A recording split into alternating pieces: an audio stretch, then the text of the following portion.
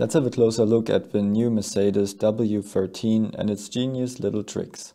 For those who are new to my channel, I'm Martin. I've been working for Audi in Germany in various departments of their technical development for seven years. I moved to the UK and worked for McLaren, Force India and Racing Point in the years 2017, 18, 19 and 20 in their aerodynamics departments. And today I'm a self-employed motorsport consultant. And now back to the Mercedes. Let's start at the front. Mercedes uses a four-element front wing with a long nose and without detached first element, like the Ferrari. The front wing generates most of the downforce at the sides and is backed off in the center to send more energy to the floor. Also here we see the adjustment at the far outside and the inboard step change will create a vortex either side which can be used further downstream. The end plates look like they are bent outside, which could help to avoid separations while turning, a detail we haven't seen at other cars yet.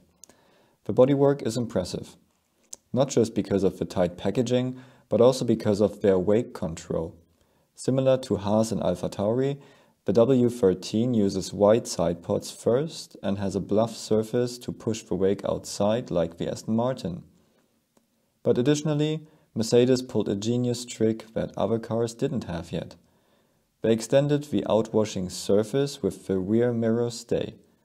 How can they get away with that? I think we can all agree that this tiny vertical stay doesn't do much. But because of this connection, the part can be declared as rear mirror stay. If we check Article 364c, it says that the bodywork declared as rear mirror stay can only be as wide as the mirror itself, should only be a single section, can be up to 50 mm high, and shouldn't be further than 1300 mm away from the front wheel center line. Mercedes seem to tick all those boxes, so it's a nice little detail that will help a lot with outwash, and which will be copied by other teams quite quickly.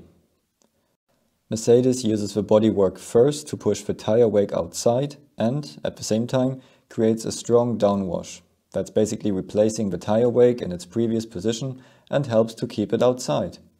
So if we want to categorize this bodywork, it's hard, because the forward concept is pushing the wake outside with bodywork like Aston Martin and Alfa Romeo, and the rear is super tight like McLaren and Williams.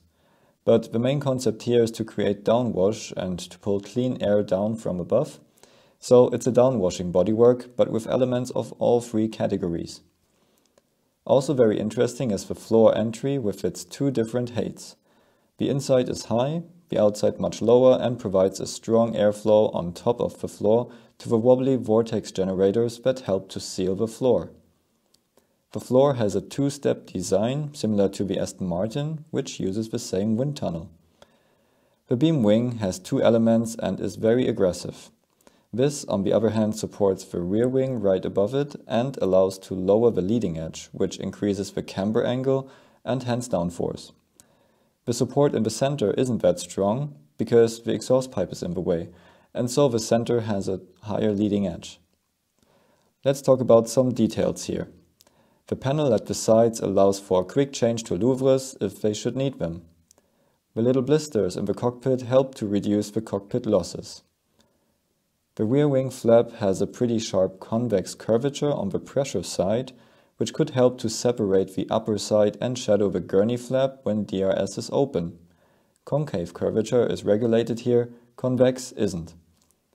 Mercedes used their mini rakes in crucial areas at the first runs. They do this to see how much energy the air in these areas has and correlate the data with their CFD.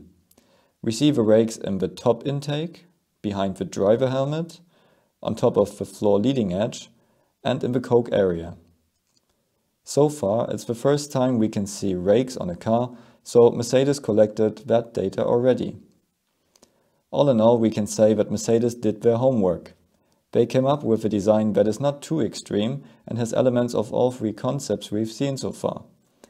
Impressive is that Mercedes turns up with a car with so many detailed designs and clever solutions but it looks like this car is already pretty far in development. Let me know how you like the new Mercedes W13 in the comments below and see you at the next video.